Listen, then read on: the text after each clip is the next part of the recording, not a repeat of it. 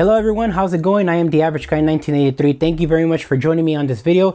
In today's video, I'm super freaking excited because the time has finally come so that we can install the new Kaabo Wolf King GTR headlight into the InMotion RS. So in today's video, I'm going to be showing you guys how to do exactly just that from disassembling the light on installing the cables and soldering the new cables on, putting everything back together, and then showing you guys what it looks like on the RS already on and give you guys a daytime view of how everything is wired up as well as show you guys a nighttime clip of both the original RS headlight as well as the Kaabo Wolf King GTR headlight and get your guys' opinion. Now I want to apologize because I am going to be using the DJI Pocket 3. There are some limitations with this Pocket 3. Number one, it can't zoom in too close to items so there's just a limitation with that because of its sensor.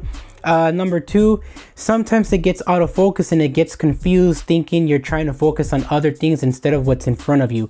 And it's unfortunately, so if you guys do happen to go through that, I sincerely apologize during the process.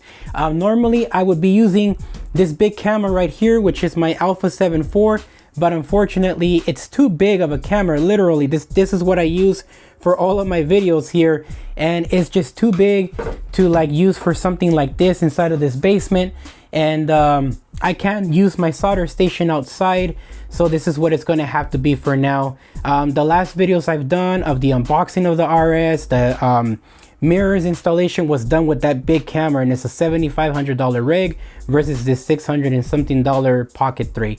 So uh, without further ado, let's go ahead and get started with this video.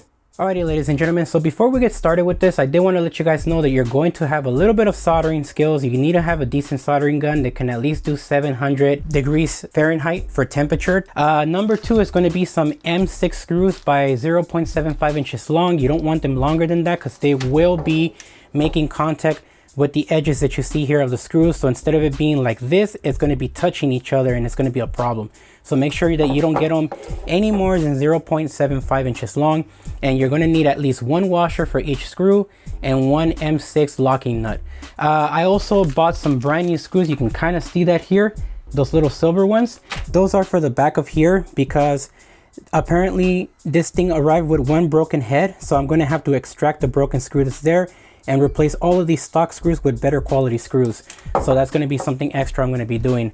Um, what we're going to be doing here is basically disassembling both of these units and we're going to be swapping out the stock cable that comes for the RS and desolder the cable and solder it onto this one and put it on the RS and test out the light to see how it looks like at night.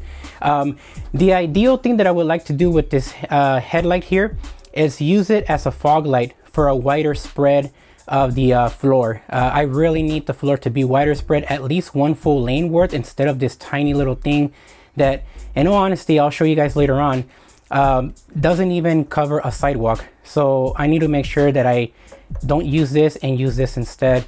And I got this at Voro Motors. You can probably find it at AliExpress for a lot cheaper price, but it doesn't come with any screws. So this hardware is the original hardware of the RS. And this hardware here with the reflector, it does have some holes on the edges that do not have any threading of any kind, but you are going to have to make the holes a little bit bigger with a drill so that you can fit the M6 screws that are going to have to go into this so that you can use the Kaabo Wolf King GTR headlight with this original hardware. And then just re-screw in your uh, M6 screw on the bottom here to the RS with the you know, five millimeter hex key. So I'm gonna go ahead and take all of this apart so we can get started on the soldering part. So let's get to that now. Alrighty guys, so what we're gonna be doing here is just disassembling the units and the first thing you're gonna need is at least uh, some hex keys. You need a three millimeter hex key, which is this blue one here, and that's gonna be to be able to remove the silver screws that you see on the edge of the RS body for the headlight. And then the four millimeter hex key is gonna be to remove the screw that's right here on this edge and on the opposite edge here for this bracket that goes installed on the RS body. So from there, the uh, 5 millimeter hex, which I kind of took out in advance, is for the M6 screw that's going to go into the uh, GTR headlight on the side and also to remount it back into the RS body with the original bracket. So let me go ahead and take all of that off now so you guys can uh, be able to see how this looks like. So we're going to start with the uh, bracket first. Let's grab the little hex key here. and start taking it off.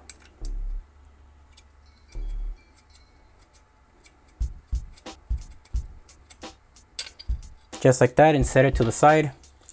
Do the same thing over here.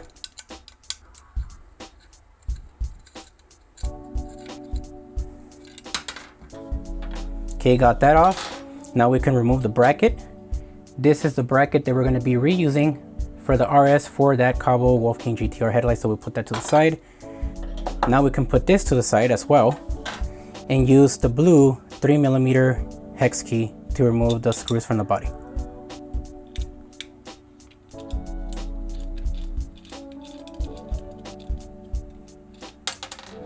One.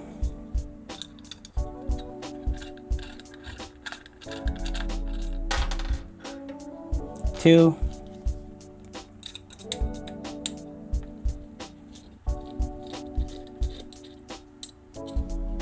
three,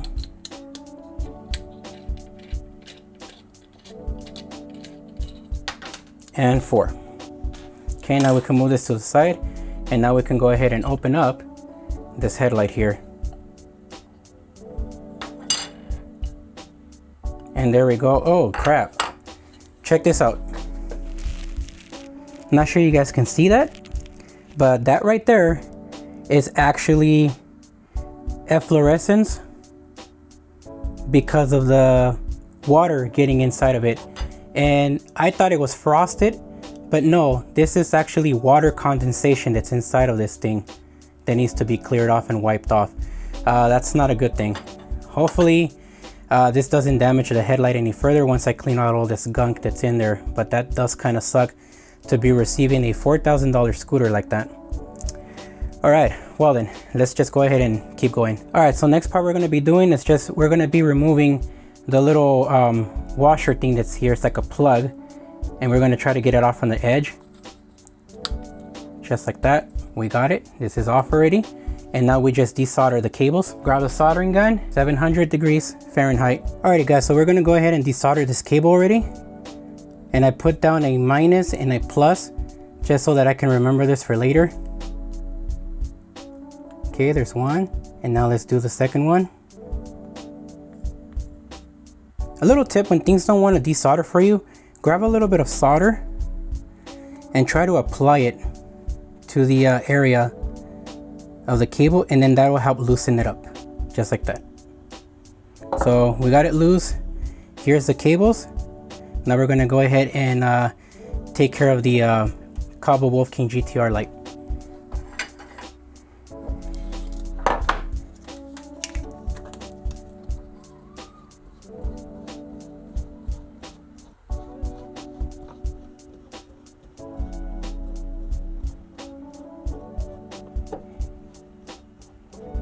And hopefully you guys can see everything okay because uh, I'm using the uh, Pocket 3 and I am wearing a um, LED headlight on me right now so that you guys can see this as much as you know you can on video.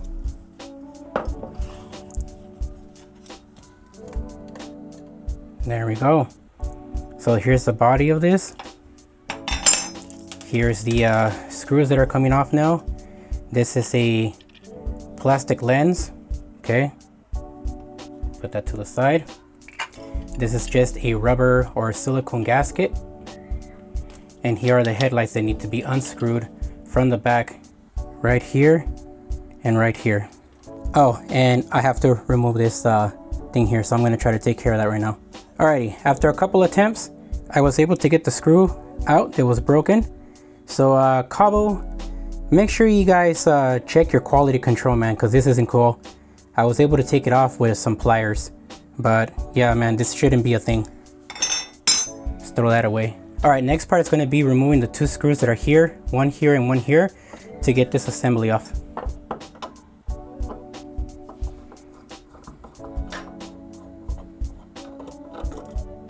One, two. All right, so here is the uh, mechanism for this. Let me see if I can get a close up.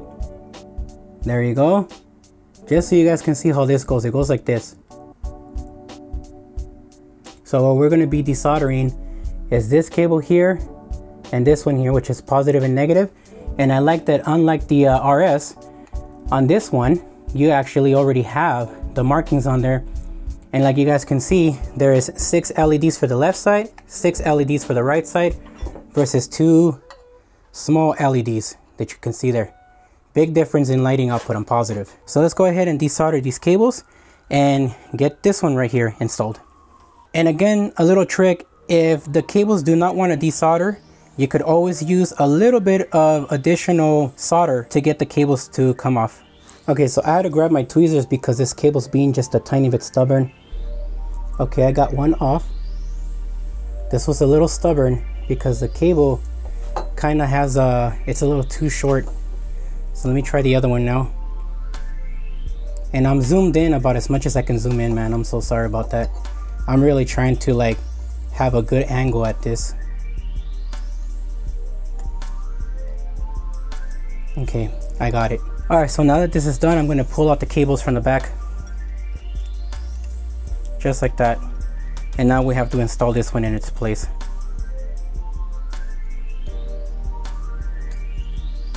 Okay, just like that. Okay, so now what we gotta do here is just solder on this cable. Okay, that's that one there. Got the red one, now we need the black one.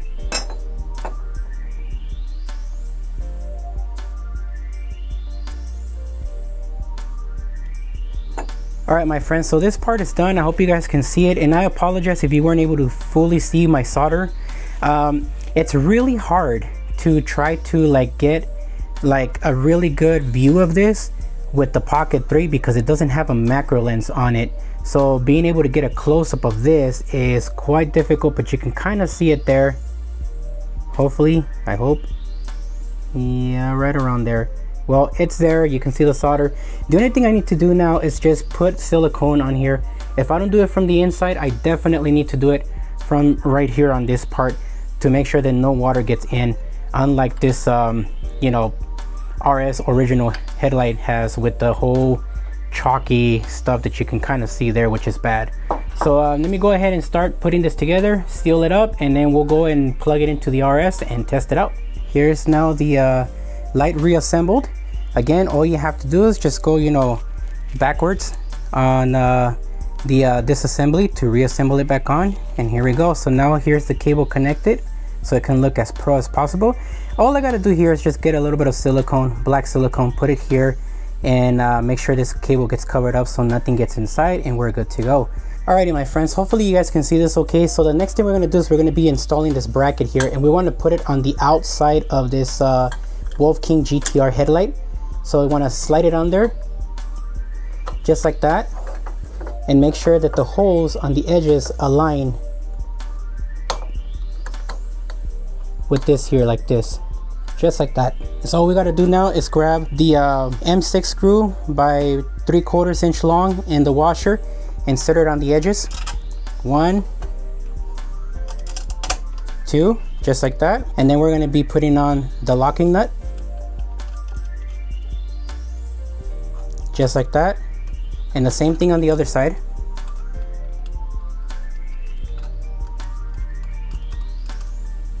Just like that and just tighten it up. Okay all we need here is just to tighten up this area here. Hold on to this part and then tighten it up. Just like that. Same thing on the other side here. Hold it on like that. Tighten it up. Alrighty guys, this is done now. So all we gotta do now is reinstall it and again once it's installed like this, you can adjust your lights to your liking, however high you can get it to, or if you want to aim at the floor so you can get really good visibility of the floor with an external headlight, um, like the way I'm doing, and then just finish tightening up the uh, M6 heads and you're good to go. So let's go ahead and install this on the RS and see how it looks. Alrighty ladies and gentlemen, and this is how my InMotion RS now looks like with the Kaabo Wolf King GTR headlight. Check this out, man. This is one of the reasons why I chose to name my RS the RS Minion because it has the Minion looking eyes. Now this is a total of 12 LEDs, which is six per side versus just one per side, which is a total of two LEDs on the original um, headlight for the InMotion RS, man. But this is what it looks like. Again, using original hardware. Here from the side, you can indeed adjust the light to your liking. Once you have it adjusted, just go ahead and tighten up the screw on each side right here and on the opposite side. Once you're done adjusting it, here's the original cable. You can see that there. And this is what it looks like from underneath. So you can see that there it is with the uh, original screw and hardware. And there you have it, my friends. So let's go ahead and do some before and after nighttime videos of uh, just showing you guys what the light looks like and uh, we'll wrap up this video. Alrighty everyone so I wanted to show you guys real quick before we swap out the light uh, what the stock light looks like. This is exactly what the stock LED headlight for the InMotion RS looks like. It's just a small spotlight on the floor nothing more. You can just see how everything looks like here. And it looks pretty poor this is really bad lighting. This is even enough to uh, light up a sidewalk. And I'm not sure why the light is made so narrow. It is bright though. You can see that it's bright. See that? It's definitely a bright headlight. The problem is the angle is so poor it's narrow. So if it wasn't narrow this would be a great light. But um I'm swapping it out for the Kaabo Wolf King GTR headlight because I want to have a wider angle view on the floor as a fog light now let me show you guys what it looks like with my Acrunu headlight I'm going to turn it on right now on mode 1. See that? That is the Acrunu headlight. It's a $50 LED light that does 2600 lumens. I'll go ahead and put this light in the description for you guys. And sometimes they have it on sale for like $39.99, so you're saving some cash. Just gotta look out for the pricing. This is a large 5 LED light version, and this is mode 1. This is uh, mode 2 this is mode 3 and this is mode 4 and this is off. So again this is what it looks like with the stock headlight man. So let's go ahead and switch on over to what the Kaabo Wolf King GTR looks like now so that this way you guys can see what a much better fog light for the floor that headlight does over this one. Alrighty ladies and gentlemen we are on the Ace Pro just like we were earlier with the uh, RS original light. But uh, this is what it looks like man. Check this out. So this is the Kaabo Wolf King GTR headlight. Look how much more light you get. And yeah you do get a little hot spot right around the middle. But again it's by itself we're not even using the Acrunu light that's right there and I will show you guys what that looks like but this is what it looks like with the Kaabo light to me it looks amazing man so 12 LED lights versus two LED lights. And again, you can adjust the headlight as high as you want. I would prefer to have it maybe somewhere around there so that I can see the floor. And to be fair to the RS light as well, I'm going to turn on my Acrunu light right here. So you guys can see the difference on that. That's my Acrunu light. So you can see that it's definitely blinding to the person in the front, but it doesn't really matter. I know some people get concerned about this stuff, but you want people to see you at night. So this is really important. And again, if I want to do that, I can just use a regular high beam or high beam and low beam or flash. And that's another thing. If I turn off this light now, the Acrunu light is off. This is just a Kaabo Wolf King GTR light. You still have the same functions as you do with the GT, the GT Pro, and the GTR. So if I turn off the light, just like that, and I turn it back on, we get a lower output. So this way it won't be so blinding to the person in front of you. But if you don't want to have a strobe light, you can turn it off and then push it back on again for the power. And now you get a strobe light effect which is really good if you want people to see you in the bike lane. This is freaking amazing, man. So we turn it back off, turn it on again, and we're back to the regular light. And again, even here on this dash cam, you can see everything. So you guys can see the time. But this is amazing, man. So, now it's up to you guys. What do you guys think? Would you guys prefer to have an upgrade like this with the Kaabo Wolf King GTR headlight? I personally think I made the right choice. Yes, it was 50 something dollars. That was a little expensive, especially when you can find it on uh, AliExpress for a lot cheaper.